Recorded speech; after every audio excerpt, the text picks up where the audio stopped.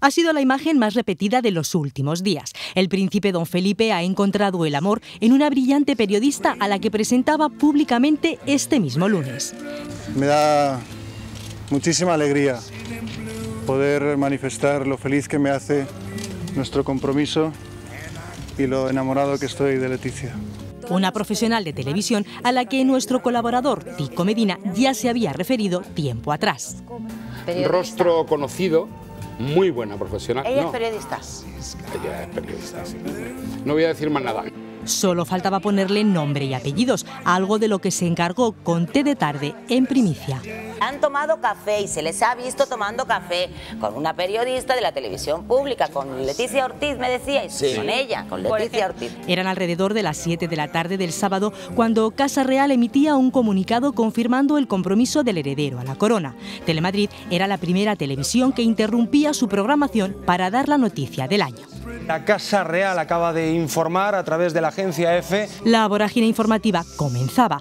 Una destacada periodista de televisión había conquistado el corazón del soltero de oro más codiciado. Todos queríamos saber cómo era ella, quién es su familia.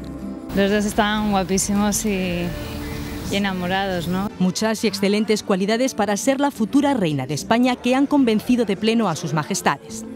Tienen que hacer fotos porque así estoy más gordo de felicidad.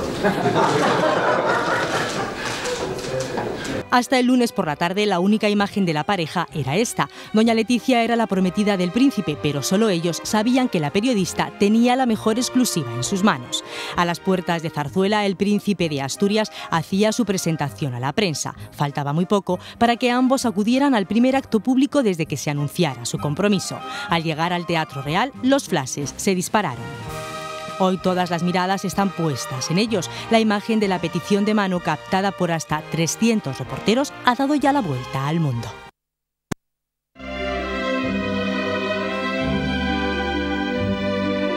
Todos los ojos estaban puestos en ellos en una petición de mano llena de curiosas anécdotas.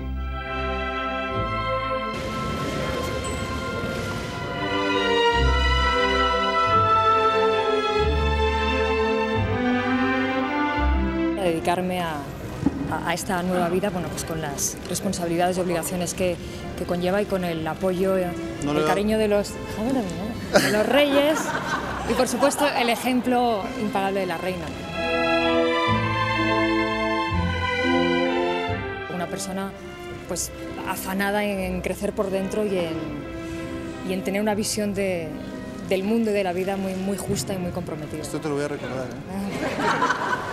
Tras hacer su aparición en el patio de los Austrias, don Juan Carlos y doña Sofía esperaban pacientemente a los prometidos hasta que el personal de protocolo se encargó de dar por concluidas las preguntas. De nuevo, doña Leticia mostraría su espontaneidad cuando al comparecer sus padres hizo este simpático gesto para marcar la diferencia de estatura entre su madre y don Juan Carlos. Siempre preocupada por la imagen, la prometida de don Felipe estuvo pendiente en todo momento del príncipe, al tiempo que doña Sofía echaba un vistazo a los gemelos que le habían regalado. La mayor naturalidad y menor rigidez protocolaria fueron ayer las claves de una petición de mano con estas instantáneas para el recuerdo.